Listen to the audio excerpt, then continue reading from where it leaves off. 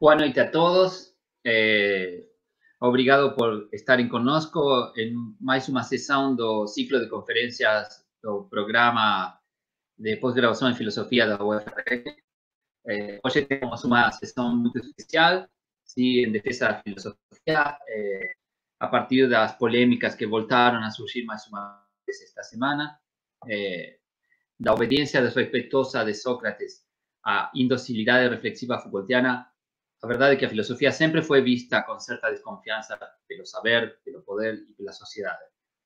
Porém, é revoltante que continue ainda hoje a pesar sobre ela a ameaça da censura, do anátema, da persecução. Em verdade, se existem modos de desligar o crescimento das nossas capacidades, da intensificação das relações de poder, um desses modos passa seguramente pela filosofia.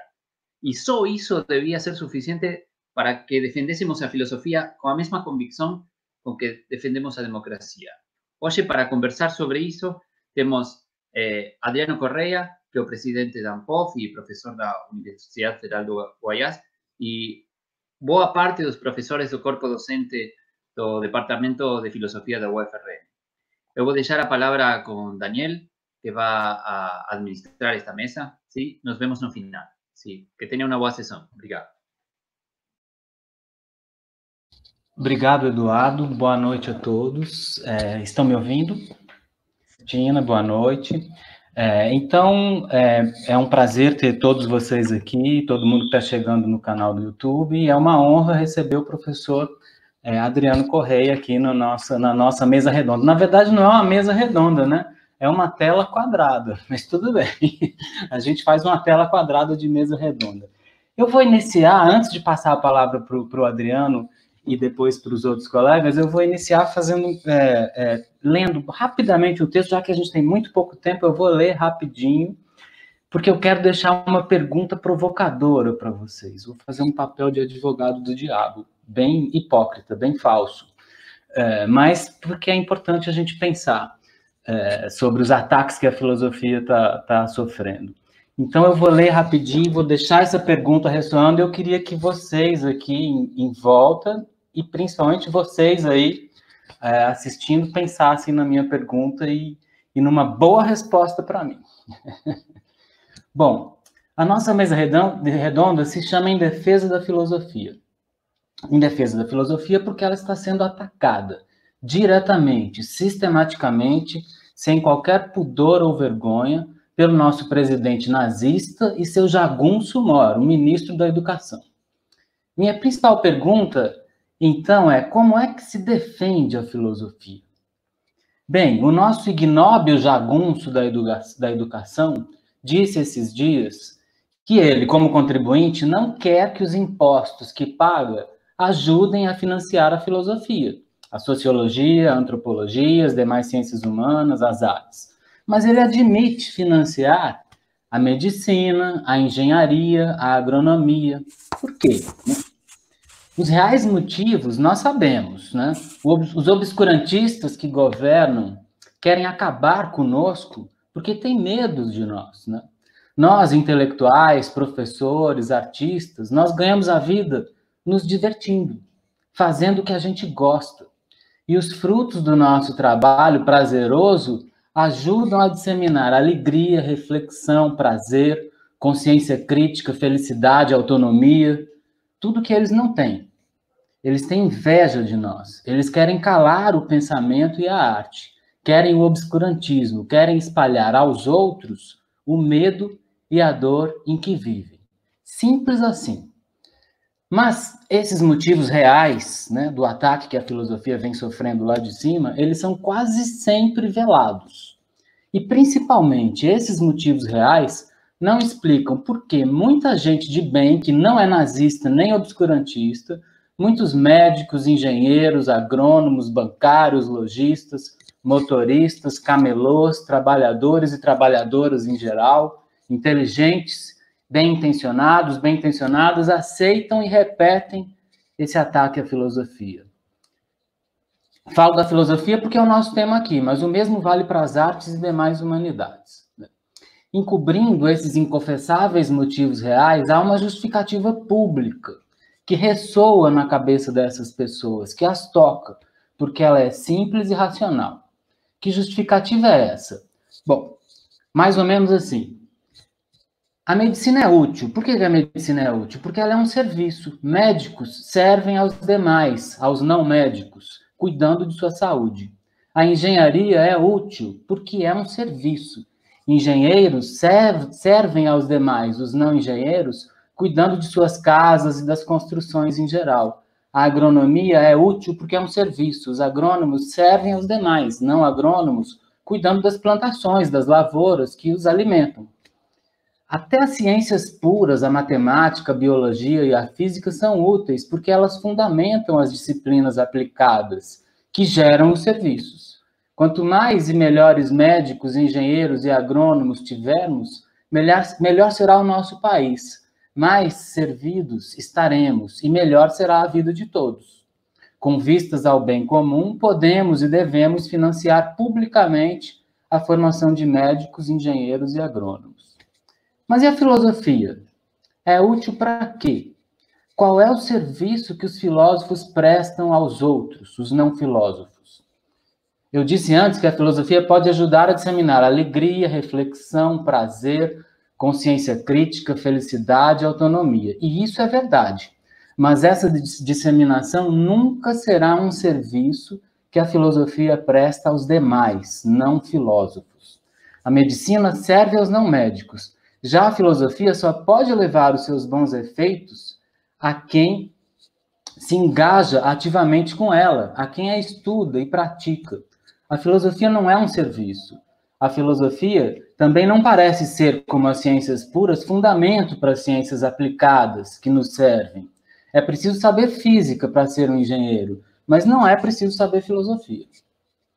Bom, então os filósofos não conseguem devolver os serviços à coletividade, de modo a justificar o investimento público na sua formação. Sobre isso, quero dizer duas coisas. Um, eu acho mesmo a filosofia inútil, tão inútil quanto a felicidade. Ela não é um serviço, nem, nem fundamenta os serviços. A filosofia é imprestável. Dois, a segunda coisa que eu acho. Eu acho esse argumento para atacar a filosofia completamente falacioso e equivocado, mesmo a filosofia sendo inútil. Bom, então a pergunta que eu deixo para vocês, para os colegas aqui em volta, e principalmente para você que está que tá assistindo, é, é a seguinte: como é que podemos defender a filosofia desse tipo de ataque? Não do ataque odioso, esse fácil de defender, né? do jagunço da educação e do presidente nazista. Não. Esse ataque das pessoas comuns. Como é que a gente defende a filosofia disso? Eu tenho uma resposta, mas eu não vou dizer aqui não. Eu quero deixar para vocês conversar, conversarem sobre ela e quem sabe numa outra quarta-feira, num outro pensar juntos com mais tempo, eu falo é, sobre isso. Então, pronto, deixo essa provocação e com muita alegria passo a palavra para o professor Adriano é, Correia, que está brilhantando aqui a nossa noite. Obrigado, Daniel. Queria saudar os colegas que estão aqui nessa na tela. é, vou tentar ser breve, eu acho que a gente. É, não, antes disso, acho que mesmo sendo breve, tem coisas que são muito importantes. É um prazer estar de novo na UFRN, mesmo que assim virtualmente. Já tive algumas vezes é, e sempre foi muito prazeroso e, e, e, é de novo um prazer estar aqui com vocês. É, eu vou tentar ser breve e depois a gente pode conversar mais. Assim, agora eu, eu queria dizer um pouco assim que a nossa situação realmente não é simples. Como assim, acho que vocês não são desavisados, mas a gente está num contexto muito mais complexo do que as falas do ministro, né? E é um pouco isso que eu queria compartilhar com vocês. Vocês devem se lembrar que em 2019, bom, a gente não está, a gente está sendo atacado diretamente desde o segundo semestre de 2016, quando entrou em pauta a ponte para o futuro, a reforma do ensino médio e daí veio a reforma do ensino médio, e o ano passado foi um ano muito ruidoso de falas, é, bom, assim, que mesmo que a gente saiba que é uma coisa muito vulgar, é, mas é algo que a gente não pode não reagir. Infelizmente, é esse o nível. Né? Em abril do ano passado, eh, já quando entrou o, o ministro. Ah, esqueci até o nome dele, antes do Weintraub. Depois eu lembro, colega filósofo, né? É, a gente estava um pouco em evidência, né? Pela inoperância né? do ministro e, e, e, pelo quanto ele era, eh, além de pouco, assim, falava-se, por exemplo, na CAPES que ele andava pelos corredores sem fazer ideia do que estava em jogo ali, e de fato parecia que era isso. Aí chega o Weintraub, que é uma figura completamente bizarra, que não tem pudor, por exemplo, eu vou dar só um exemplo, não das falas dele, mas de cortar, por exemplo, funções comissionadas e atingir os colegas que estão lá nas coordenações de graduação, é, ganhando, sei lá, quanto, 400 reais líquido, né, ou nem isso, para coordenar um curso, é, e não tem nenhum pudor. Então é um pouco isso que eu tenho insistido sempre que eu penso no Weintraub. Ele não tem pudor nenhum de pôr tudo abaixo por uma parafernália, por um, um ruído público e, e para atender uma, um público que está sedento de sangue, de vulgaridade, de inimigos e por aí vai. Bom, e nós somos é, é, a bola da vez, junto com as humanidades, eles fizeram, é, em, no final de abril do ano, usava dinheiro público para fazer coisas promíscuas, e aí o, o, guru do governo fez montagens, né? a gente conseguiu depois derrubar, é, dizendo que a Ampof patrocinava essas coisas com dinheiro público, eles não fazem nem ideia de como, do que, que é uma, uma associação como a Ampof, né? Assim, a gente não está organizando nada, nem... Em suma, esse é o nível. Agora, é, a gente é atingido, claro, afetivamente, eu acho que isso nos rouba energia, não é só olhar dizer que é falacioso, é vulgar, eu acho que a fala do Daniel traduz um pouco isso, assim, é, é algo que nos tira do sério, mas eu acho que a fala, por exemplo, de domingo, é, ela não pode nos distrair de uma corrente aí subterrânea que é muito mais danosa a médio prazo e que tem nos atingido diretamente. Eu vou veja, enquanto no ano passado eles, falam, eles faziam cortes eles é, nos atacavam no Twitter, essas coisas aí, nas redes sociais. Olha, eles, eles começaram o ano com a portaria 34, depois foram para a portaria do, da CAPES, não é? É? Que colocava as humanidades numa posição secundária em relação às outras áreas. É, eles são tão incompetentes que eles fizeram uma bagunça muito mais do que nos cortar. Ontem saiu um estudo da NPG, Associação Nacional de Pós-Graduandos, justamente dizendo que mais do que cortar bolsas da área de humanidades, eles concentraram bolsas no Sudeste. Esse estudo eu, eu recomendo vivamente para quem está assistindo, a gente vai divulgar, mas procurem no site da ANPG, Associação Nacional de Pós-Graduandos, eles fizeram, conseguiram, é, via justiça, é, acesso à distribuição de bolsas, essas tabelas eu recebi há pouco, há pouco tempo também. Outra coisa também danosa, essa portaria não foi revogada, por mais que a gente tenha se articulado por toda parte, eles não se inibem com a pandemia. É, é, e vão aí, vocês devem imaginar que a nossa capacidade de articulação continua sendo grande na nossa área, mas a mobilização, nossa área, assim, as humanidades, mas a gente com SBPC e tudo, mas entrar nas instituições que, que estavam, de algum modo, nos auxiliando a barrar algumas coisas, está muito difícil. É muito difícil colocar uma coisa na pauta do Congresso. Quando a, a 34 foi promulgada, a gente conseguiu que uma deputada, a Margarida Solomão, de Minas Gerais, colocasse um, um projeto de decreto legislativo sustando a portaria.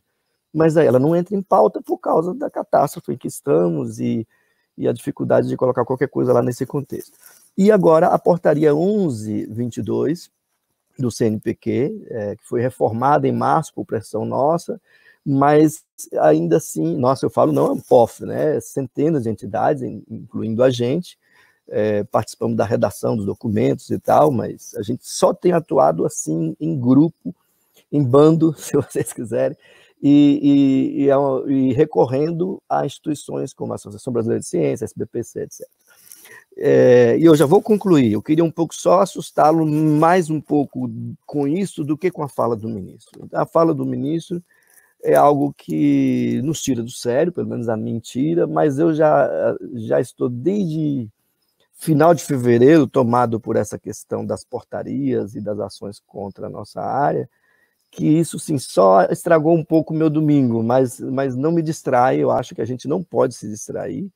A gente tem de se articular permanentemente, a gente tem de encontrar alegria, tem de se comunicar.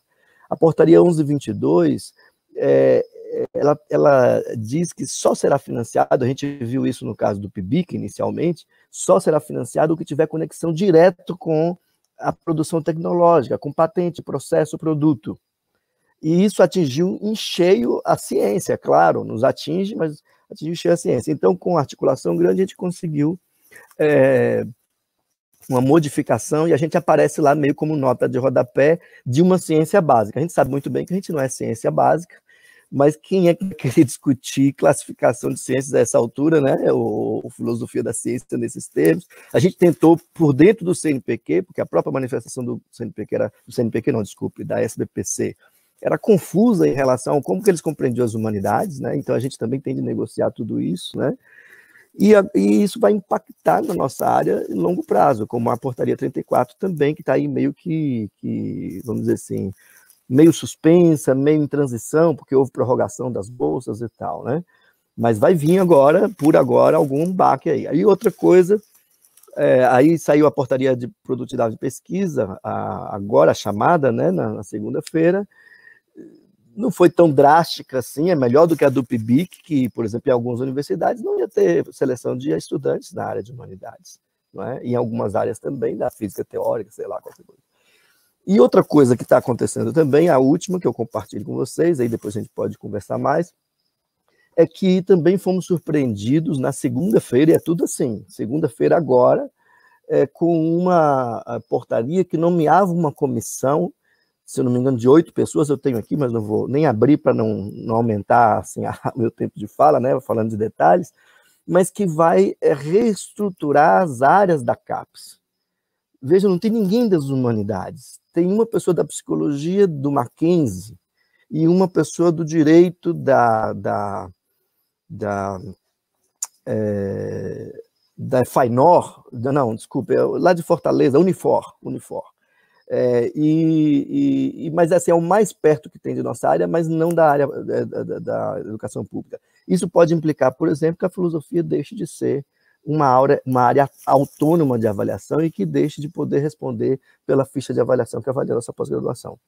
Vejam, só, e aí para concluir e compartilhar com vocês, é, eles estão saindo desse, da, do, do, da parafernália, do espalhafato, para transformações institucionais, que impactam editais, impactam bolsas, impactam é, apoio a, a, eventos, etc.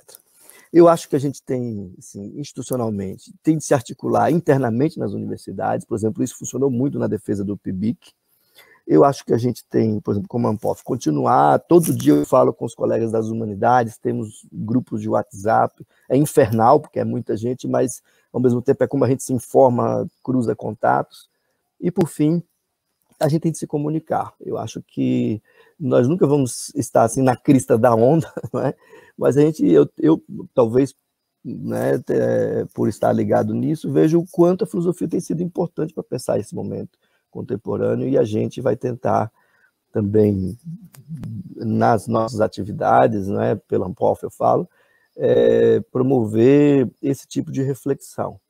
Mas eu acho que o momento é realmente catastrófico, eu acho que a gente não pode subestimar, a gente não pode se distrair, e que a raiva tem de encontrar foco e que tem de ser contrabalançada com a alegria de a gente ir atrás, defender o que a gente acha que vale a pena, como disse o Daniel, a gente faz o que gosta, não é? Final de semana a gente lê filosofia também, não é? Então a gente multiplica a atividade, o nosso salário ele, ele, ele cai do mesmo jeito se você fizer o mínimo. A gente faz uma loucura de coisas. Eu não posso ficar até o final, por exemplo. Claro, a gente tem de revezar, mas eu vou dar aula depois daqui. Então, a gente. Por quê? É uma aula. Não tem nem registro. Eu vou fazer uma espécie de grupo de estudos para os meus alunos, porque a situação também tem dimensões né, pessoais muito fortes. Desculpe, eu acabei falando demais, aí eu encerro, depois vai ter outras conversas e posso eventualmente esclarecer qualquer coisa. É isso que eu queria compartilhar com vocês. Não são boas novas, mas é, a gente tem de ficar alerta. Excelente, Adriano, muito obrigado. E eu rapidamente passo a palavra para a professora Sinara e é, recebo o professor Alípio, que entrou é, depois que a gente já tinha começado. Bem-vindo, Alípio. Passo a palavra agora à professora Sinara. É, boa noite a todos, colegas, ouvintes. Obrigado, professor Adriano, por estar é, aqui fazendo parte né, dessa, dessa mesa. Eu, na realidade, é, não vou. Nós temos só cinco minutos, né? Então, eu não vou falar muita coisa, não. Eu gostaria de ouvir mais. Eu vou fazer ainda algumas perguntas para o Adriano, né? Para que eu gostaria de ouvir mais sobre essa questão das políticas aí da, da, da Ampof, né? Mas antes disso, eu queria só fazer uma apresentação aqui visual. Eu não sei se vocês reconhecem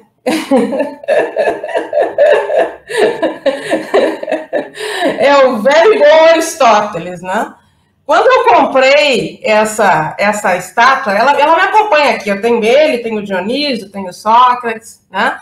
Quando eu comprei essa estátua há 10 anos atrás, não sei se vocês observam aqui, tá? Ele é meio, não sei como é que eu boto para cá, né? Ao contrário, aqui na internet é ao contrário, direita e esquerda. Ele tá meio que vocês não sabem, tá meio ceguinho, né? Ele tá meio com o olho fechado ali, ele parece que tá cego.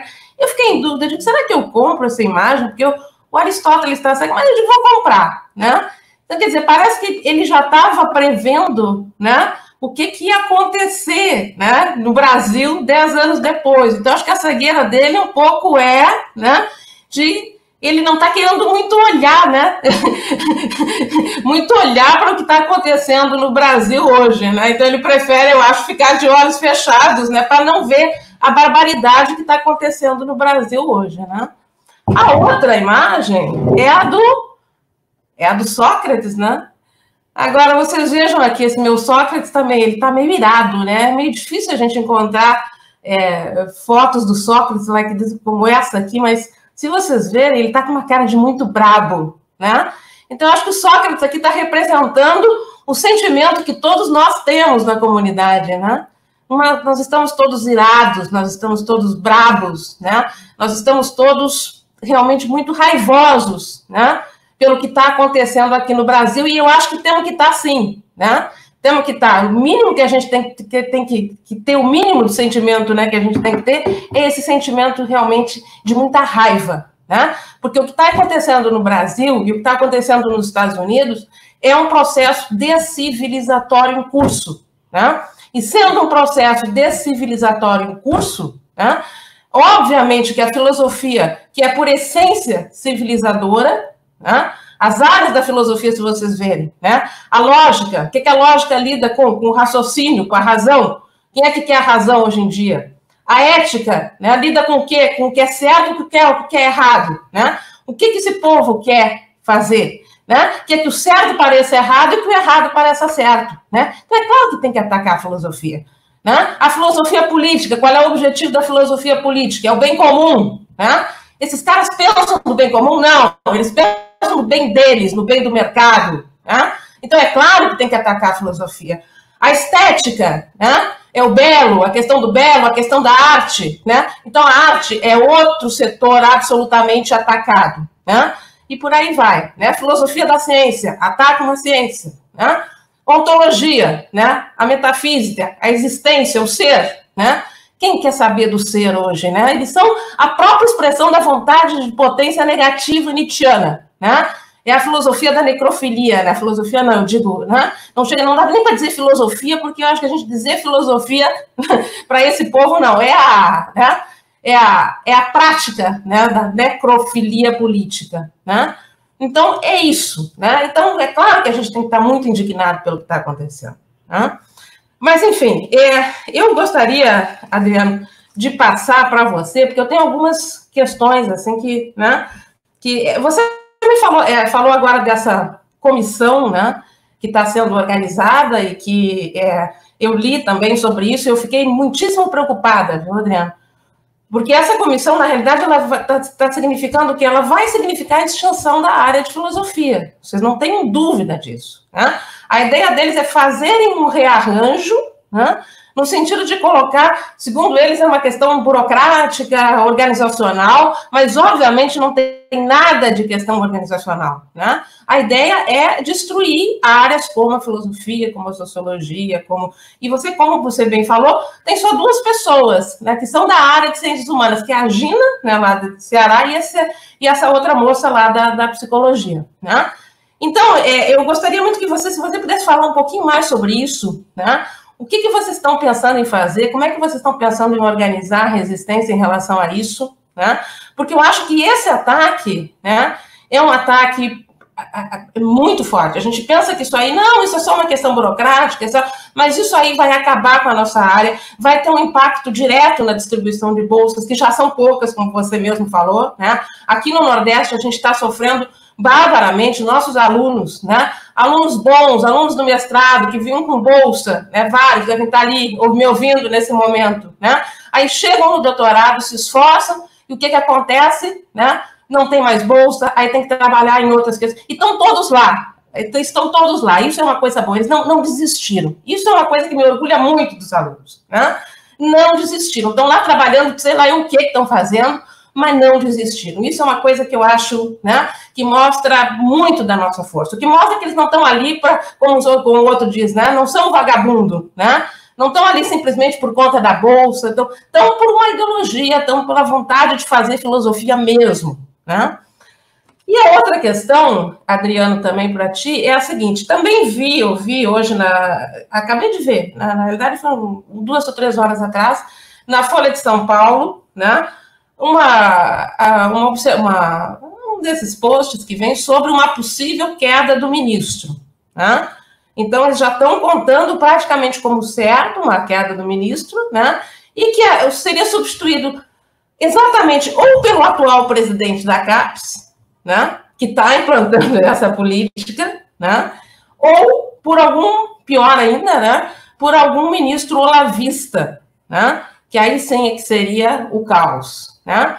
Então, eu queria saber, Adriano, se vocês têm alguma notícia a respeito disso, né? E o que, que vocês estão pensando em fazer? Porque a gente está falando muito do, do, do Ventralbe, né? Claro que tem que falar, o ataque vem do Ventralbe, mas o, o, isso, isso é, uma, é uma política, é uma política do governo, né? Então, assim, pode sair o Ventralbe, né? Por, porque ele já está sendo demais até para o próprio governo, né? Mas certamente quem vai substituí-lo vai ser na mesma linha, né? Então, quer dizer, a filosofia vai continuar sendo atacada. E se for um olavista, então, aí é que vai ser atacada mais ainda. Aí é que. Né? Então, eu queria saber, eh, Adriano, de você, o que, que vocês estão pensando, a Ampof, conjuntamente com as outras entidades, como é que vocês estão vendo isso aí, né? Em última instância, como é que vocês estão vendo em organizar a resistência, né? Você falou que está aí com outras entidades e tudo, mas tem ações específicas, ações da Ampof, ou mesmo ações nessa, nesse, nesse grande grupo, né, com as outras instituições. Como é que está isso? Se pudesse falar um pouquinho mais para a gente sobre isso, eu te, te agradeceria. Obrigado, Sinara. Eu, é, é, por favor, professor Adriano, e já na, depois da resposta do Adriano, eu já passo direto para o Alípio, tá bom, Sinara? Para a gente, gente correr não, não, tempo Para mim acabou. É, para mim acabou. Tá, tá certo. Obrigado. Então, por favor, professor Adriano. É, obrigado, Senara, pelas questões. É, de fato, a situação é essa mesmo. Assim, é, o risco que nós temos é de um trabalho coletivo que foi feito, eu considero extraordinário, uma experiência única, que foi a construção coletiva, por exemplo, do, da, da nossa ficha de avaliação, do Qualis, livros, periódicos centenas de pessoas, mesmo sem exagero, envolvidos em comissões desde o final de 2018. A gente é, conversou sobre isso durante uma reunião com a coordenação diária na Ampof, né, em Vitória. E, e, isso tudo com o risco de ser destruído por, por uma, uma tacada governamental, como se fosse uma questão burocrática. Ontem, os colégios de todas as áreas das, das da, da CAPES, não é? lançaram uma carta é, chamando a atenção para internamente, ou seja, uma carta aberta, mas que foi direcionada à presidência da CAPES, lembrando do, da, da, da, do procedimento institucional é, da tomada de decisões na CAPES, o Conselho Superior, os colégios de humanidades, o próprio CTC.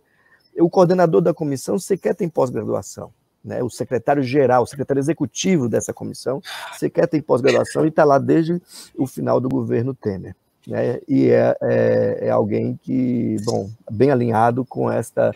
É, é um burocrata, não aparece muito, até procurei coisas sobre ele, mas é alguém que faz o serviço e tem feito esse serviço.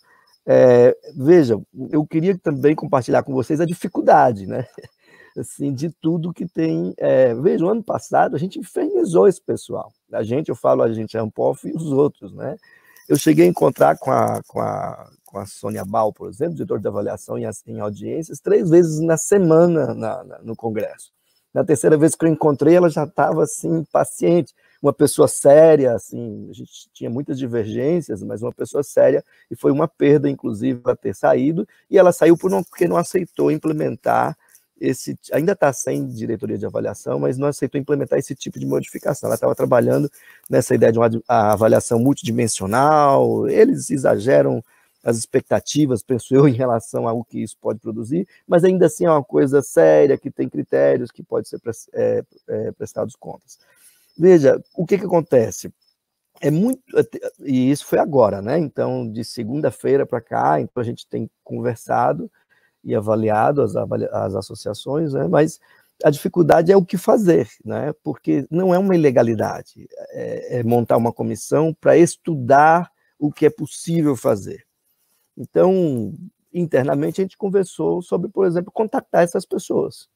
É, eu, por exemplo, conheço uma das pessoas dessa comissão, que é a coordenadora da área de Engenharias e Ciências Sociais e Sociais Aplicadas, CNPq, a professora Adriana Antonini, que é, assim, não é próxima, eu encontro com ela nessas reuniões, mas é uma pessoa com quem se pode conversar. Então, a gente ficou tentando esse tipo de coisa. Outra coisa que a gente já está atento, principalmente por essa carta dos, dos colégios e dos representantes de área, é entrar com mandado de segurança, é, é, é, cobrando que seja respeitado aquilo que prevê o Estatuto da CAPES e por aí vai.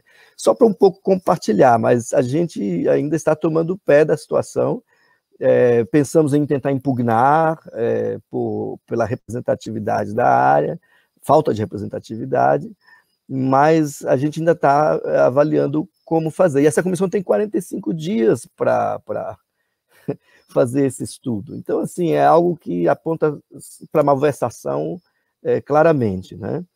É, então, muito provavelmente a gente tentaria mobilizar o Congresso, a gente está tentando só avaliar é, se isso se mantém e, e, e, como reagir. Né? Sobre o ministro, olha, é, a gente é, se informa também pela imprensa, né? A gente não tem um acesso privilegiado, eles são erráticos, eles dizem uma coisa de manhã, de noite diz outra, então não dá para confiar em nada e a imprensa mesma fica aí atordoada, a imprensa mesma mais séria, atordoada com, com isso, né? O, o que eu penso é que é, talvez não possa vir algo pior do que o ministro no que nessa forma como eles se dirige à universidade. Né? Hoje mesmo li uma reportagem que dizia que ele, fazia, que ele queria continuar para acabar com o esquerdismo na universidade, que foi consolidado nos últimos 30 anos. O que, como que se faz isso? É, bom, é um, veja, há hipóteses, e aí fora da, do, do, do, da imprensa, de que a reação do guru, aquele piti que ele deu todo, é, que essa a MVP 979 e mesmo essa manutenção é, do Weintraub, com a radicalização de sua posição, inclusive, né, no domingo, com participação, participação em protestos, etc. De novo falando da gente, é uma obsessão, que tudo isso seria uma espécie de afago com o guru e com os ressentimentos dele, né? O Weintraub é um olavista, ele e o irmão dele, assim, é, são pessoas que participaram de seminários, etc., e se apresentam assim. E o MEC, tá, o MEC, a CAPES, a CAPES ainda tem assim, a salvaguarda institucional, que são os, os servidores muito qualificados que, que criam dificuldade para esses arroubos. Mas eles, a, a CAPES está sendo aparelhada com comissionados. Né? É, então, veja, a situação não é nada fácil. Eu acho que aí o, uma equação que pode ser menos pior, e me perdoe dizer isso, mas assim, pragmaticamente, é o Centrão conseguir é, tomar o Ministério da Educação. Aí nós vamos voltar a lidar com fundações privadas, com mas aí já é, é, uma, é, é um inimigo mais estável, mais previsível e que a gente é, consegue negociar até uma coisa ou outra dentro de um parâmetro mínimo de legalidade e tal, né? Então, veja que até a esperança é minguada, né? Mas, assim, como Ampof, o que, que a gente tem feito? Veja, exemplo, houve, nem houve, domingo a gente se falou, eu, a presidente da, da Ampox, da ABCP, da área de ciências sociais, o pessoal da letras e tal, a gente falou, responde ou não responde? Unânime, não responde. É o cara tá caindo, atirando e querendo palco. Da outra vez nós respondemos e foi excelente para a gente mas dessa vez eu acho que a gente é, fez bem em ficar quieto, é, deixar que as questões que ele tem de responder na justiça e outras, que, as, que, que a coisa ganhasse uma dimensão sem roubar nossa energia, porque tem aí essas coisas é, institucionais que, que a gente tem que focar mesmo, tem, a gente tem de se articular, a gente tem de ver como o Congresso pode nos ajudar é, nisso. Então, eu te responderia sim no geral, a gente tem interpretado que a Ampof tem de dar visibilidade à nossa produção. Assim, não como atuação minha, né? Mas assim, os nossos meios de comunicação, vai sair um site novo aí que a gente está organizando, a, a, o portal de periódicos, a gente tem de divulgar as iniciativas dos colegas Brasil afora. Mas essa atuação institucional tem sido decisiva também, assim, mesmo com poucas vitórias, mas é onde a gente consegue empurrar um pouco a porta, segurar, é, fazer com que algumas dessas portarias sejam revogadas, como no caso da 1122 foi reformada, a 34 foi reformada. Isso permite que as universidades possam interpretar isso de acordo com um contexto mais local, por exemplo. E, e, e, um aluno de filosofia não fique todos os alunos de filosofia e, sei lá, de ciências sociais da da, por exemplo, da UFRN, sem poder sequer pleitear a bolsa. Né? Então, acho que é, isso, no contexto, tem sido é, o que a gente tem conseguido fazer. Estamos abertos a sugestões, mas as portas, ainda mais agora com a pandemia, estão muito difíceis de ser abertas por causa. A gente conseguiu algo na 979, mas aí porque impactava as universidades todas, né, a nomeação de reitores e tal mas uma coisa específica das humanidades, a gente tem de ficar ali forçando para tentar emperrar, né? Infelizmente é, é uma guerra de guerrilha, ainda mais na questão da pandemia, né? Ok, Adriano, é, muito obrigado pela, pela resposta e pelas informações todas. Vamos continuar. Eu passo a palavra para o professor Alípio. Enquanto o professor Alípio começa a falar, vai ter uma troca de cadeiras aqui na, na mesa redonda, mas tudo continua por favor, professor Alípio, é, obrigado pela, pela presença aqui. Uh, boa noite. Estão me ouvindo? Estão me ouvindo? Sim? Bom, ok. Então, é, em primeiro lugar, boa noite aos colegas da mesa, é, também aos é, que estão nos, nos vendo e ouvindo, que é, não vemos, mas imaginamos. É, o, a ideia da mesa é, hoje, eu creio que foi muito motivada pela, pelas palavras do ministro da Educação, como os colegas antes já mencionavam, ao dizer bem recentemente que é, mais valia investir em medicina, é, odontologia, nas áreas de saúde, é, era isso que ele dizia, do que preferia que, que o seu dinheiro, o dinheiro dele, é, fosse assim aplicado e não para formar filósofos, é, sociólogos e antropólogos. Eu creio que a primeira coisa a dizer é que é, é claramente uma fala oportunista, porque se vale do momento é, da pandemia, que é um problema sanitário, é um problema mundial de saúde, para dizer que haveria da parte uh, dele como ministro e do governo ao qual ele pertence uma preocupação uh, de fato legítima com formar profissionais que sua atuação, seu exercício profissional é de interesse de toda a sociedade para coisas úteis, diferentemente de um investimento de recursos públicos para formar, no pensamento dele, certamente, é, profissionais de áreas que seriam de pouco interesse, que seriam justamente filósofos, sociólogos e antropólogos. Eu vejo essa fala, é, que eu caracterizei como, em primeiro lugar, oportunista, como uma atualização de uma campanha contra a filosofia e as ciências humanas uh, que o governo ao qual o ministro pertence já tinha dado partida uh, logo que uh, começou como governo. Todos nós eh, acompanhamos essa campanha de desqualificação da filosofia das ciências humanas desde o início eh, desse governo. Eh, e me parece então que nessa tentativa de desqualificação, de invalidação da filosofia e das ciências humanas, nós temos aí a tentativa de um governo claramente de extrema direita em afastar da educação é, de jovens é, na sociedade brasileira aquilo que eles reputam como o mais perigoso na universidade, que seria as áreas de humanas, né, onde, onde está a filosofia, a sociologia, a antropologia, mas todas as demais áreas, porque quando eles dizem ali tem a predominância de um pensamento esquerdista, na verdade, essa é só uma maneira de traduzir para a sociedade mais facilmente aquilo que eles não são capazes ou estão impedidos de dizer até o fim, que é o objetivo de um governo nessa linha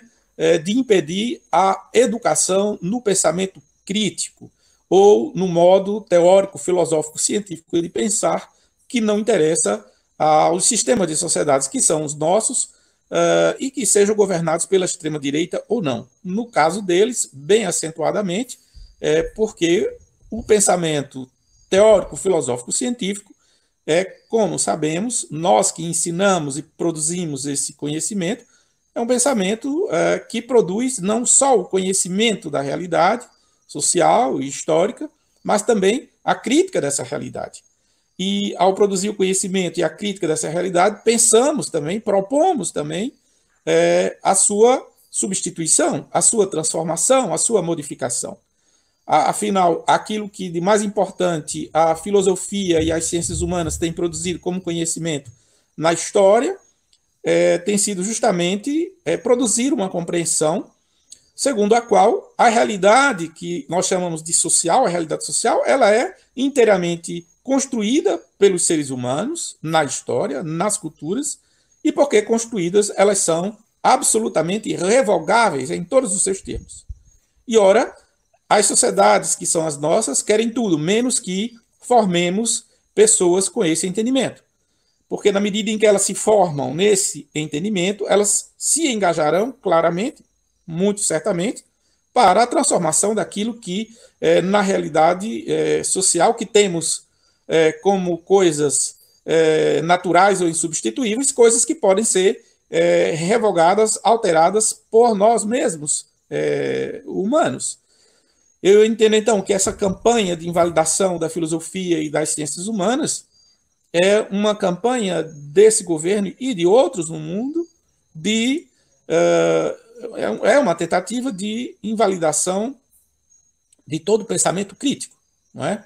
Que eu estou chamando aqui do, do, do, modo teórico, filosófico, científico de pensar, porque é esse modo de pensar que produz as reflexões críticas, problematizadoras, de desnaturalização, de uh, relativização daquilo que existe como a realidade. Então, nesse sentido, eu diria também que essa campanha aberta pelo governo é, Bolsonaro, desde que se instalou, e que tem no Ministério da Educação um de seus agentes mais, mais destacados, ela é também uma campanha de ataque à universidade é, de uma maneira mais, mais ampla.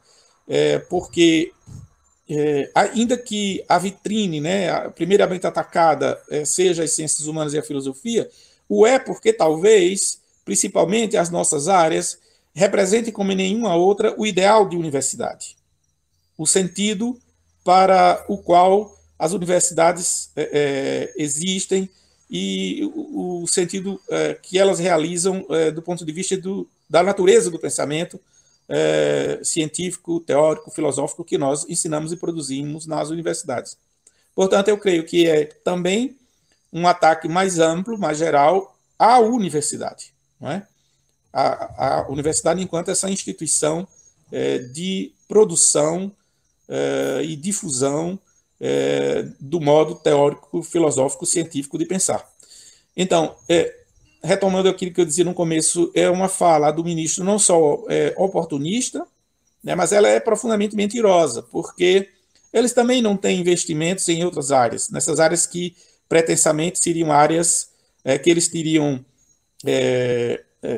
dedicação em investir, porque seriam úteis, seriam benéficas, é, práticas à sociedade. É também uma, uma fala mentirosa, porque também não há investimento, é, investimentos para essas áreas, porque é a universidade como, como um todo que tem sofrido os impactos de uma política de desinvestimento nela. E, e, portanto, vemos aí claramente que esse ataque, essa campanha, que toma a filosofia e as ciências humanas por primeiro, na verdade é um ataque mais geral a esse ente que é a universidade, né? que na história mundial, que na história do pensamento, é, tem sido atacada em muitos momentos. Né? Eu lembro sempre os termos de um estudioso inglês, o Kenneth Minogue, falando sobre a história das universidades, quando ele disse que as universidades é, sempre foram instituições é, incompreendidas incompreendidas justamente porque delas se cobra o que elas não podem dar. Não, é?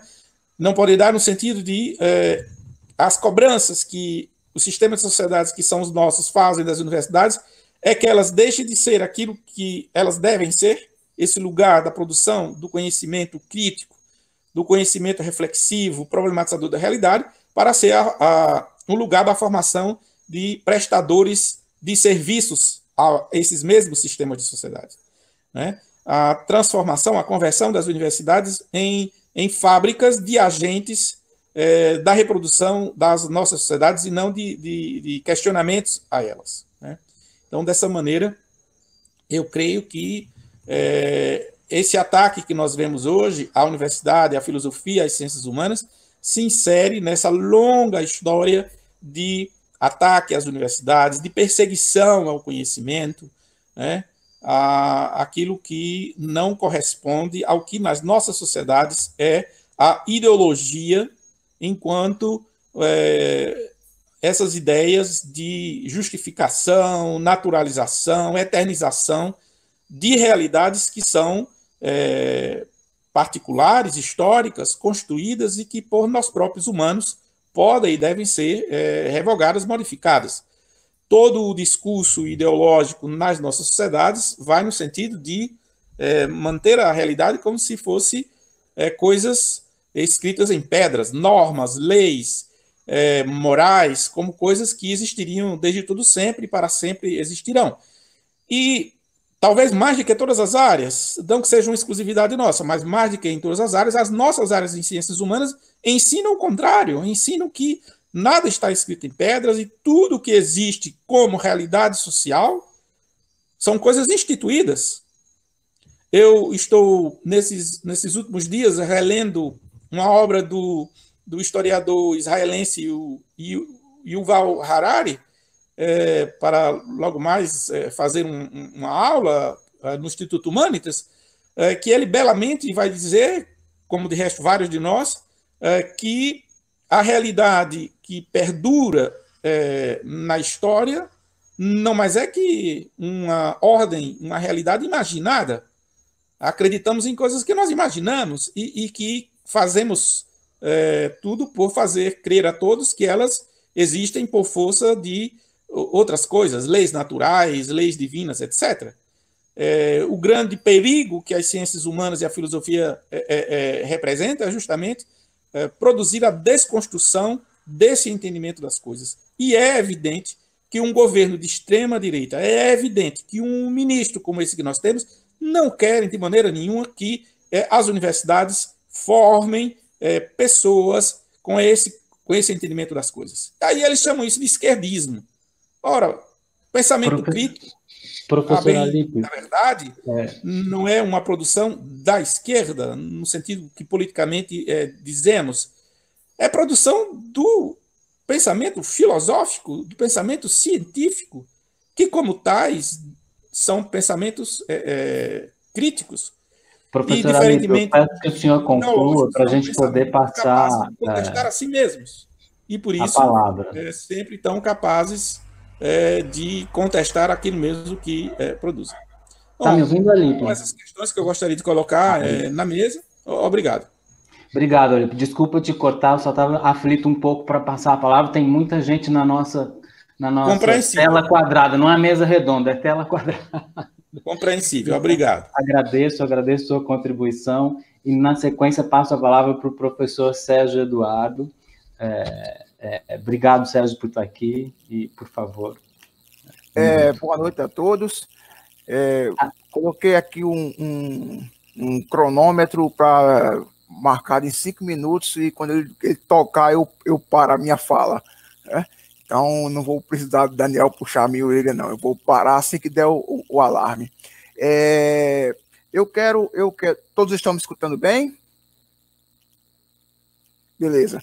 É, eu, quero, eu quero apenas fazer um, um, comentário muito, muito breve acerca da a, o próprio título da, da, da, é, da nossa apresentação de hoje, que é em defesa da, da filosofia. E eu, eu é, trabalhei nesse, nesses últimos dois anos na, na reforma curricular do curso da licenciatura e tive a oportunidade de dar uma olhada em todo o processo de, de construção da filosofia como, como é, componente curricular, tanto no ensino público quanto na própria universidade.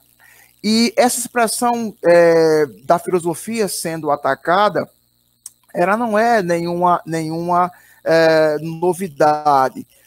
Desde a, período da República, a, a primeira reforma republicana feita lá por Benjamin Constant em 1890 é, e durante parte considerável do século XX, a gente teve um processo de é, da filosofia estar sendo remanejada, a ora para ocupar uma, uma posição é, de maior proeminência, ora para simplesmente desaparecer de alguns currículos, é, aparecer apenas como uma certa propedêutica à disciplina científica da universidade, o fato é que isso não, não é novidade. A filosofia, em todo esse século XX, ela sempre foi, ela, ela sempre foi atacada.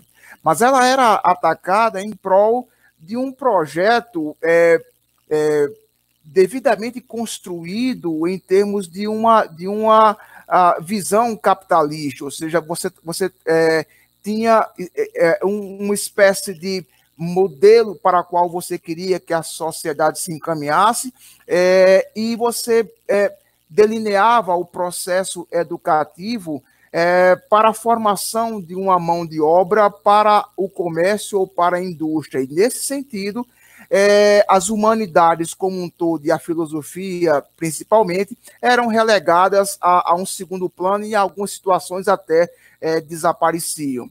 Mas, mas havia uma, uma lógica por trás, havia uma lógica capitalista bem específica por trás.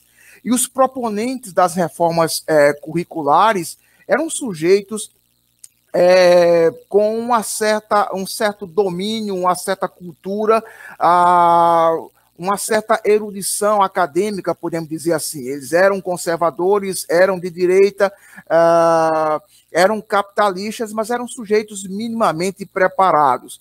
Então, você, você, nós tivemos, especialmente no período da ditadura militar, nós temos uma luta de muitas instituições pela batalhando em defesa da filosofia e, e sabendo muito bem é, contra qual projeto é, eles estavam lutando. O problema agora é diferente, porque nós não temos um, uma, uma lógica é, delineada, clara, é, é, de, um, de um capitalismo que quer montar um modelo de sociedade, que quer construir uma mão de obra para, para esse, esse modelo é, social que eles estão estabelecendo. Nós estamos vendo é, um ataque às humanidades a partir de uma base é, que não se parece em nada com aquela que nós estávamos acostumados a lutar durante todo o século, o século XX. Então, é, nós, temos, nós temos, na verdade, uma série de sujeitos é, é, estabelecendo uma, uma, uma postura de ofensiva, uma, uma postura uh, de, uh, de combate a esse pensamento crítico, a este pensamento contestador, e aí eu quero me, me chamar a atenção de vocês, a gente sempre coloca que o pensamento crítico como uma espécie de baluarte das ciências humanas, mas nós estamos vendo nesse período de pandemia profissionais da área da saúde, por exemplo, exercendo o pensamento crítico diante dessa situação é, de desgoverno uh, uh, completo. Então, o meu temor, é, isso, isso é, o, é o, o, o que eu quero deixar para vocês, é que nós não estamos é, agora, e já estou encerrando a minha fala, combatendo uma, uma, uh, um modelo de, de esvaziamento das universidades a partir de um propósito puramente capitalista, é, que nós já estamos, inclusive, acostumados a, a, a combater. Nós estamos enfrentando sujeitos com ideias. É, eu quero só lembrar vocês que estamos em tempos de terraplanismo, em tempos de teorias de conspiração, de mamadeiras de, de piroca, de é, ditadura homossexual, ah, etc, etc, etc. Isso é defendido por pessoas que estão nos altos escalões do nosso governo. Então, assim, é, tenho muito receio que a nossa luta, a filosofia, porque era sempre citada, era sempre colocada em, em, primeiro plano quando vem esse tipo de discurso junto com a sociologia, e agora ele citou a antropologia, é, é, é, é essa, esse nosso combate que nós estamos é, travando e que está prestes a, a, a, a chegar num clímax, porque se amontoam os processos no Supremo Tribunal Federal contra esse governo e ele vai ter que reagir de alguma maneira. É, o meu receio é que por trás disso tudo não esteja só a implantação de um modelo capitalista ultraliberal por esse dinossauro do liberalismo que é o Paulo Guedes. O meu receio é que por trás disso tudo esteja uma visão distópica de sociedade, é, que nós estejamos nos encaminhando, é, cavalgando plenamente para uma loucura completa no plano das ideias, isso passa necessariamente pela destruição da universidade e as humanidades à frente, tal como conhecemos hoje. O meu receio é muito maior, não é, não é apenas por uma questão meramente de capitalismo selvagem do Paulo Guedes, mas pela destruição da realidade como nós temos hoje e a implantação de um conjunto de ideias é, que nos fará voltar não apenas 20, 30, 50, mas centenas de anos atrás, num obscurantismo como nunca antes visto na nossa história. Então, essa é a minha, minha preocupação E a minha questão maior é como é que vamos é, encampar um tipo de luta contra um adversário que não se move segundo as lógicas é, que nós conhecemos de combate. É um adversário diferente. Um, um, um ministro que elogia é um astrólogo que auto se intitula filósofo e é, faz um discurso veemente contra a filosofia. Um ministro que vai e diz que é, deveria se é, o seu dinheiro do seu imposto financiar é, médicos, dentistas, engenheiros, mas ele faz parte e é também eco de um governo que repudia justamente aqueles conselhos dados pela ciência médica acerca da pandemia. Então, isso não é um governo lógico, isso não é um governo com bom senso, é um, é um monstro absurdo que nós ainda não vimos a sua face é, por completo. Tá? Então, o meu, minha, minha participação hoje é muito mais para expressar é, o temor de estarmos prestes a entrar numa distopia como nunca antes visto neste mundo. Diga-se de passagem. Valeu, era só isso. Obrigado, Sérgio. Valeu pela, pela participação. E palavra para o pro professor Adriano Correia, que ele está atrasado para a aula dele, os meninos estão esperando. Por favor, Adriano, muito obrigado pela sua presença aqui. Eu passo a palavra para você se despedir.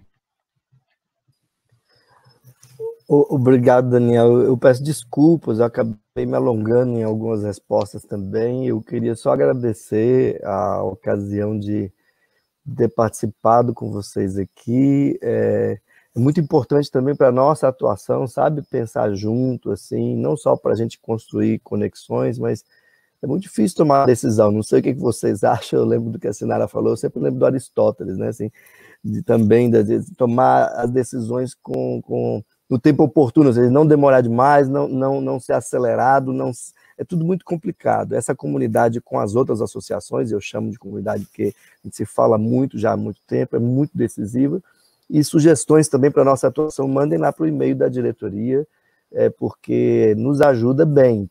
Dados, informações, contatos, coisas desse tipo. Acabo de saber, por exemplo, por uma colega da comunicação, que, é, lembrando um pouco o que a Cris estava falando aí, é, que é, a, a, os recursos para a Bolsa do CNPq de produtividade esse ano são de 200 milhões. No ano passado foi quase 300, em 2018, 338. E nós, na Bolsa de Produtividade, ainda temos 30% a menos de, assim, de peso na, na, na, na nossa avaliação. Então, assim, é, é, tudo falácia. Assim, o que cortam da gente não dá para montar um laboratório decente de física. Entende? Assim, então, é, é, a gente tem de participar do debate público e trazer essas coisas à tona. Agradeço mais uma vez, saúdo vocês, é, lamento não poder ouvir. Eu vou ficar no YouTube aqui ainda, só me preocupo com a questão técnica, e depois eu ouço, é, vai ficar online, não é? E muito obrigado, Isso, espero ficar. que a gente possa se ver presencialmente em breve. Um abraço para todo mundo. Valeu, Adriano, muito obrigado pelo, pelo seu tempo, pela presença aqui. E enquanto eu passo a palavra para o professor Samir, pedindo para ele é, se ater ao tempo depois o professor Sérgio de la Sávia fala, e se a gente ainda tiver um tempinho, a gente é, consegue é, responder algumas perguntas. Se a gente não tiver esse tempo, desculpa, é muita gente, né? Mas é, eu peço que vocês é, façam as perguntas no chat, que a gente registra, encaminha para os professores e tenta responder é, na medida do possível, ainda que não seja aqui ao vivo, ok? É, então, com a palavra, o professor Samir. Certo, é, boa noite a todas e a todos. Estão me ouvindo? Tá. Certo. É, então, eu começo falando o seguinte, que a gente não pode dar o menor espaço ao fascismo, nem ao nazismo, nem a pensamentos que se, que se aproximem né, dessas ideias extremas. O Daniel é, expressou isso no início, falando, ah, o Bolsonaro é, o nosso presidente nazista, né, um presidente nazista, e, de fato, a gente tem é, motivos né, é, para ter essa desconfiança e para afirmar isso também. Né? É, desde o início, quando ele começou a aparecer como candidato e, e tentou é, trazer uh, a atenção para ele, né, existiam grupos fascistas, neonazistas, que o apoiavam. E, é, como, por exemplo, os carecas do ABC, que na, nas manifestações apareciam apoiando a ditadura, Bolsonaro, etc. É, o que acontece é que Bolsonaro nunca se incomodou com isso, nunca se incomodou com grupos extremos apoiando ele, né? E isso já é um sinal. Né? A gente não tem só esse sinal, a gente tem outros também. Né? É, então, mas isso é um, um, sinal de alerta grave, né, que a gente é, tem que é, estar atento para tomar decisões ou fazer observações. Por exemplo, o lema Deus, Pátria e Família era um slogan integralista, e, e o integralismo, né, ele era convergente com o nazismo, ele era é, ele era uma espécie de nazismo brasileiro, da mesma época, né, do, dos anos 30, dos anos 40. e que é, o Getúlio acabou dando espaço também para esse movimento, mas é, a gente percebe a, a, retomada do slogan de grupos extremistas, né, de grupos políticos extremistas, o nacionalismo né, exagerado que a gente observou nas manifestações e observa hoje em dia também nas manifestações pró-Bolsonaro, é um indicativo também é, é muito forte né, é, do que de como rotular né, o que está acontecendo em termos políticos. A gente não pode tolerar nenhum símbolo nazista, nenhum símbolo fascista, nada que se aproxime desses regimes, porque a gente sabe o que aconteceu. Quem, quem não souber, por favor, estude história, um pouco de Segunda Guerra e, e do preconceito né, que existia nessa época e, e do genocídio né, é, resultante desses regimes. É, então, o, o que, que a gente tem? Uh, por exemplo, Alemanha acima de tudo, era um, um dos lemas nazistas. É, é, fácil, então, observar a semelhança com uh, o slogan do Bolsonaro, Brasil acima de tudo. É, outras coisas que também ganharam é, repercussão, né, o fato do Bolsonaro ter tomado um copo de leite, que indicaram que era, é, que era um ritual dos grupos neonazista, isso na semana em que um policial branco havia matado um cidadão preto nos Estados Unidos, né? Então, é tudo muito grave. A Sarah Winter tem uma tatuagem da Cruz de Ferro, né, no corpo dela. Ela disse que era da, da Cruz dos Templários, mas não é, né? É, façam a comparação, é, pesquisem, né? Vocês vão ver que realmente é a Cruz de Ferro que está tatuado. O, o, Bolsonaro, em seguida, postou uma, uma, um vídeo com uma frase do Mussolini, falando que, assim, elogiando o vídeo, né? É, a caça ao comunismo. Havia, na, na época do Hitler, né, é, faixas que dizia que a Alemanha tinha que se livrar do marxismo. Então, existem muitas, muitos indícios né, sérios, graves, que é, mostram é, como que nós devemos nos posicionar. A filosofia é plural, ela aceita é uma pluralidade de discursos, ela é democrática, mas o filósofo não tolera dogmatismo, extremismo, fanatismo, radicalismo, tudo isso característico do nazismo e do fascismo, né? É, então, a filosofia é inimiga para essas pessoas que tentam é, impor regimes fanáticos, radicais e assim por diante. Ele, a, a, o filósofo é, valoriza o questionamento. Eu pego aqui é, todos aqueles que têm um projeto de poder pelo poder será atacado pelo filósofo. Né? O Diógenes de Sinope é um, um famoso personagem que, é, na época do, do Alexandre, né, o Alexandre perguntou para ele o que, que, ele queria e ele pediu que o Alexandre saísse do sol, saísse da frente do sol porque estava fazendo sombra. Essa, essa é uma é, passagem né, famosa que explica um pouco a mentalidade filosófica. O filósofo não quer o poder pelo poder, ele quer o debate, o questionamento, a busca pela verdade. Né? É, e aí eu, eu, termino a minha fala dizendo o seguinte, que o que eu posso compartilhar por agora é que quanto mais atacarem a filosofia, mais eu tenho vontade de fazer filosofia e de estar na filosofia, né? Eu acho que essa é a vontade é compartilhada, né, pelos colegas, pelos estudantes, e a gente não é fácil fazer filosofia no Brasil, nunca foi, e to, tomara que um dia seja valorizada, né, a filosofia no Brasil. Então eu deixo é, eu termino minha fala com, compartilhando esse sentimento. Obrigado. Muito obrigado, Samir, obrigado mesmo. Desculpa a pressa aí, eu passo sem meias palavras para o professor Sérgio Della Sava. Obrigado por estar aqui, Sérgio. The last but not the least. o último, mas não o pior.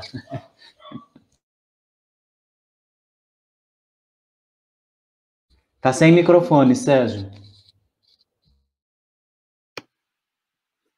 É, estava saudando a todos os colegas que estão aqui nessa tela quadrada, como você disse, nessa mesa redonda, é, e aqueles que estão nos, nos acompanhando aí pelo YouTube.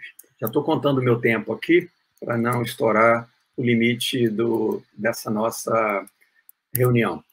É, eu estava lendo esses dias um texto é, antigo do Jacques Derrida, é um, esse livro pequenininho aqui, chamado Do Direito à Filosofia. São vários cursos dele na década da década de 80. É, e tem um capítulo que é intitulado Quem tem medo da filosofia? E ele diz o seguinte: ele está falando aqui das defesas da filosofia. Elas são ambíguas. Né?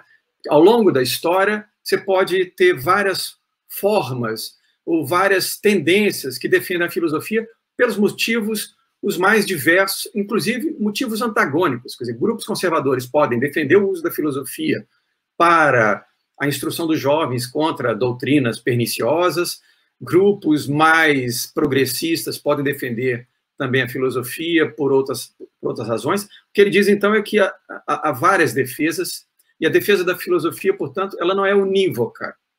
Mas ele continua.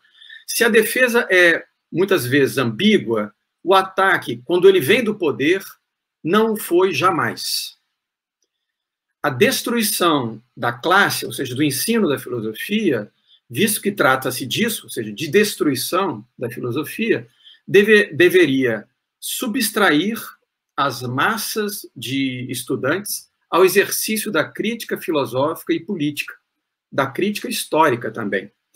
É, isso é extremamente verdadeiro, estou né? citando aqui Jacques Derrida, mas isso é verdadeiro se há lugar de falarmos em política de educação, ou seja, em ações de poder que visam fragilizar o ambiente educacional no qual a filosofia tem algo a dizer. Né?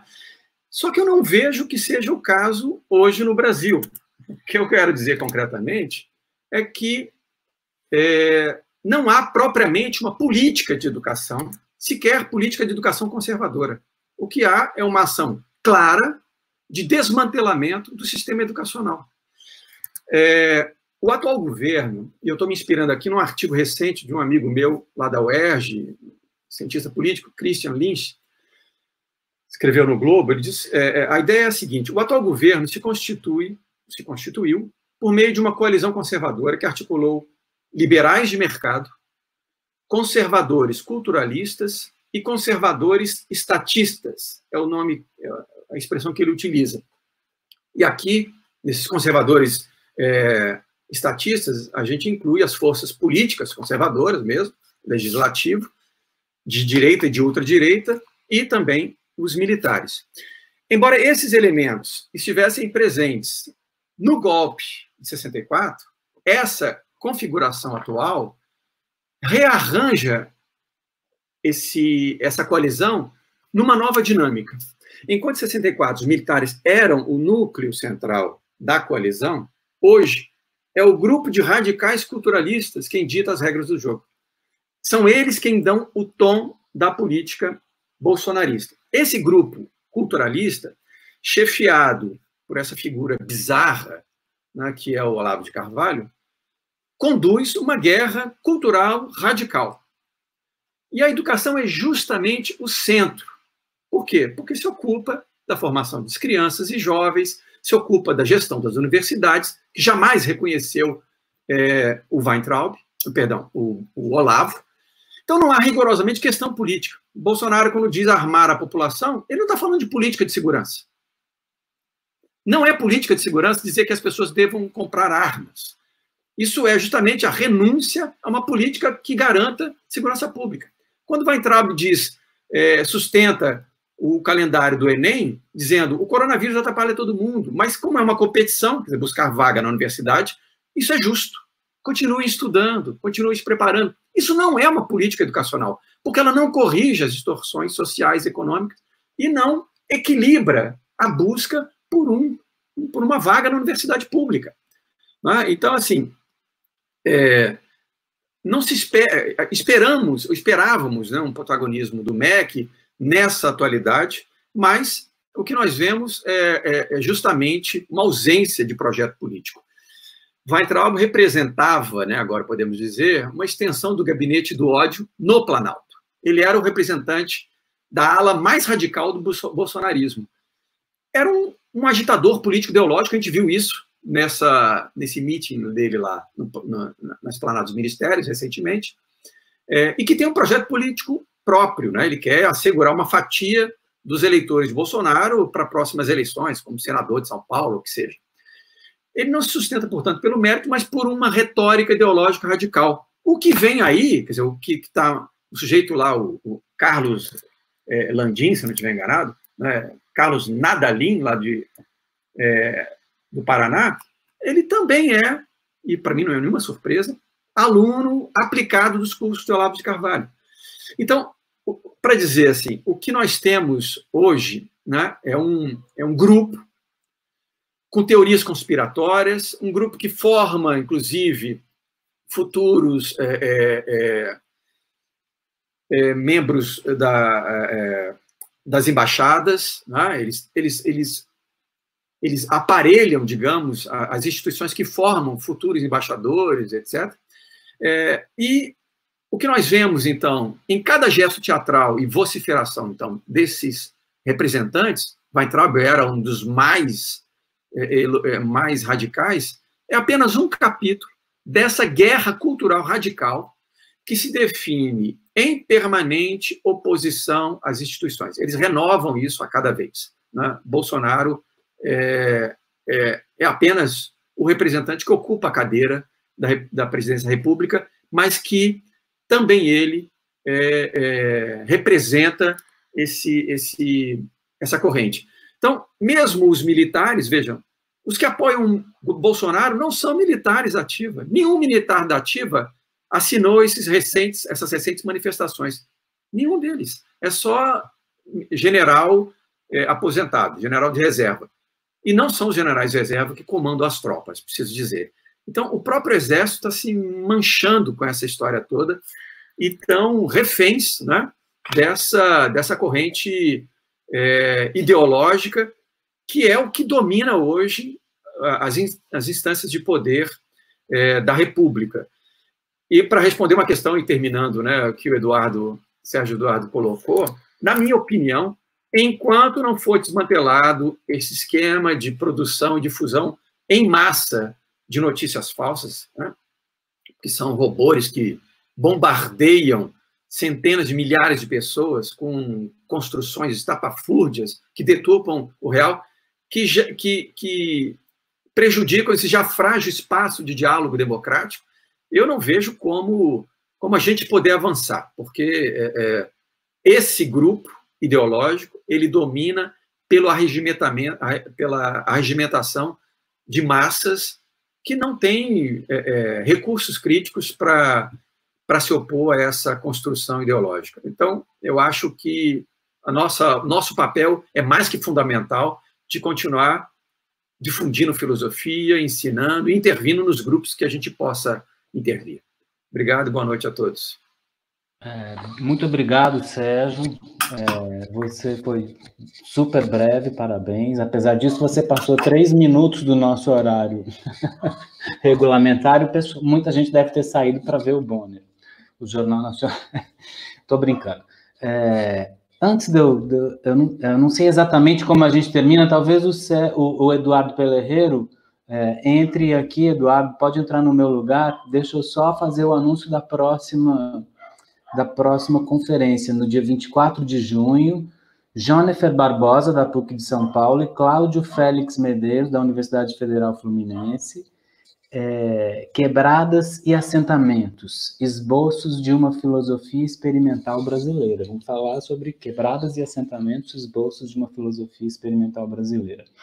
Olha, foi muito desafiador ficar aqui na mesa tentando, aflito com o tempo passando, tentando controlar vocês, mas eu acho que foi, é, é, diríamos assim, foi simbólico. Enquanto falávamos, o ministro caiu não resolveu nossos problemas, a gente ainda não conseguiu defender a filosofia, mas o ministro caiu, enquanto nós falávamos. Eduardo, vem aqui para você finalizar, eu não tenho competência para fazer isso, pode entrar no meu lugar. Foi praga do Aristóteles, viu, Daniel? A queda do ministro foi praga do Aristóteles. Ele com os olhos aqui. Ó.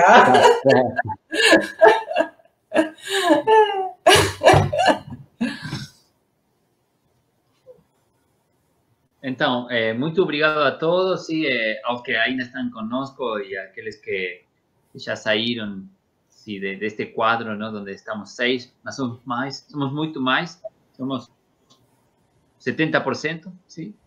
Eh, eh, eu, eu só queria. Se trata de um tema muito complexo que, lamentavelmente, não tivemos mais tempo para discutir hoje, não é? Um tema do qual falamos quando caminhamos juntos pelas ruas nas manifestações, não é? y también los corredores quando quando descansamos no do estudo, que é a parte fundamental sim, do nosso trabalho na universidade, como professores e como alunos. Eu só queria despedir-los com uma, uma frase que, sempre me marcou, uma frase que Gilles Deleuze escreveu pensando eh, no destino cruel de Spinoza.